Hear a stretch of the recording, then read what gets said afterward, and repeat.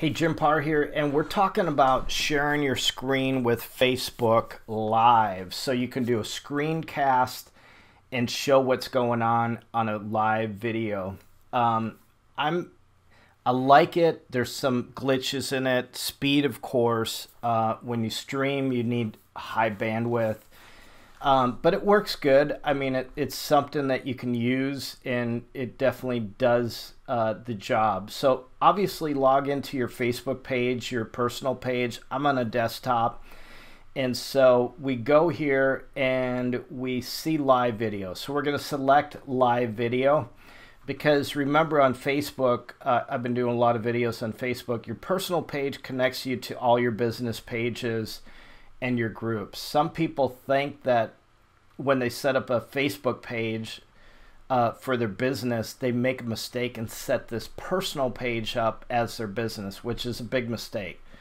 Um, it does work because uh, this will feed into people's timeline, uh, but it's not recommended. Um, it the best thing to do is if you want to get something to feed into timelines do a group page because group pages now feed into a personal timeline for those that like that group.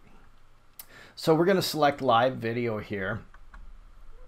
And as you can see, now we're connected. You can see the microphone over here, the volume of the microphone. And you can see if we want to share it to our own timeline because that's the default, or we want to share it to a group page. I'm just going to do it to a group page because uh, we're just testing it.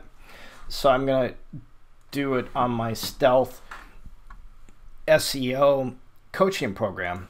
And uh, we're going to put a title in here.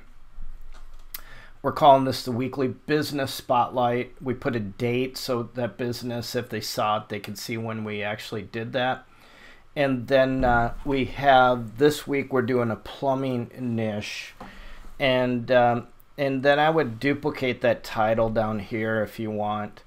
Um, there is some pretty cool stuff. You could actually schedule um, this under Connect. You could actually uh, schedule it out right here. And so it alerts people, if I click on this, it alerts people in that group page or on my timeline, wherever you select it, that uh, you're about to go live at a certain time. So it's a, a pretty cool deal.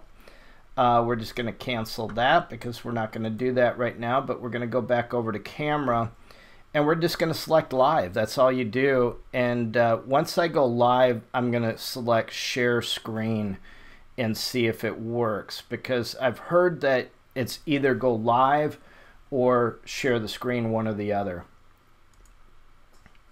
So here we go, the countdown, three, two, one. Hey, it's Jim Paar. We're live. We're doing the weekly business spotlight in Nashville.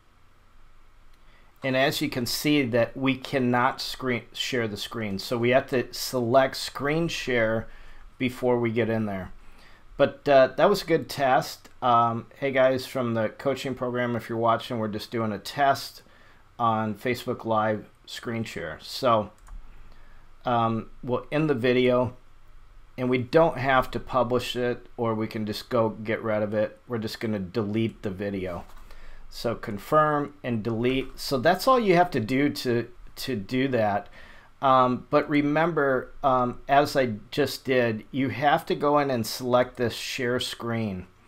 And then you're going to select the screen that you're going to share. And we're going to share this screen right here and it'll do some funky things, but uh, we can just pop up another screen over here and we're still sharing the screen in Facebook. So um, it's a uh, pretty cool deal. Um, if you have any questions about it, leave your comments below. Subscribe to my channel if you like stuff on Facebook, social media, any digital marketing. We do a ton of it. And uh, so we can stop sharing here. And so if you have any questions, uh, leave your comments below. I love to answer questions and help businesses out. So I uh, appreciate you watching. Thanks a lot.